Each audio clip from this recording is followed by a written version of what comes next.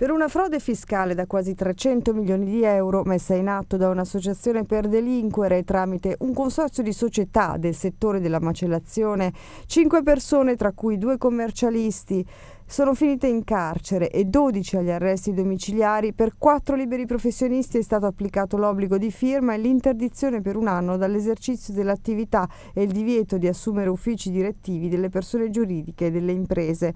È questo il bilancio di un'operazione della Guardia di Finanza di Ro, nella quale sono oltre 50 gli indagati. Le 21 ordinanze eseguite in tutta Italia, così come le numerose perquisizioni, sono state firmate dal GIP Guido Salvini che ha ordinato il sequestro ai fini della confisca di oltre 90 immobili tra ville di lusso, appartamenti, ristoranti, locali notturni, due yacht, più di 200 compendi societari, conti correnti, disponibilità liquide, gioielli, sette cassette di sicurezza per un valore complessivo di circa 60 milioni di euro.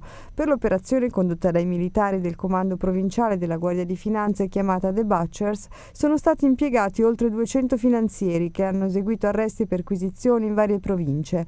La frode frode era attuata mediante la costituzione di un consorzio di società operanti nel settore della macellazione e della lavorazione delle carni, e cioè il consorzio SGS, Servizi Globali Società Consortile Operazioni, con sede e uffici in provincia di Milano, leader a livello nazionale nel campo della macellazione e che conta circa 1400 lavoratori.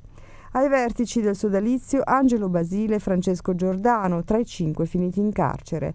Si trattava in realtà di società intestate a miri prestanome, nelle quali venivano sistematicamente creati rilevanti crediti IVA fittizi attraverso la presentazione di dichiarazioni annuali fraudolente mediante utilizzo di fatture per operazioni inesistenti e infedeli.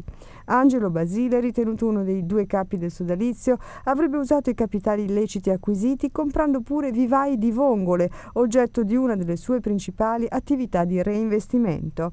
Lo si legge nell'ordinanza di custodia cautelare del GIP di Milano Salvini. La società Frutta di Mare è la società con cui Basile, per interposta persona, procede all'acquisizione dei vivai di vongole con denaro del consorzio. Tale società, che si occupa della compravendita dei mitili tra le province di Ferrara, Rovigo e Venezia, pur essendo intestata informalmente al nipote, sarebbe in realtà gestita da Angelo Basile.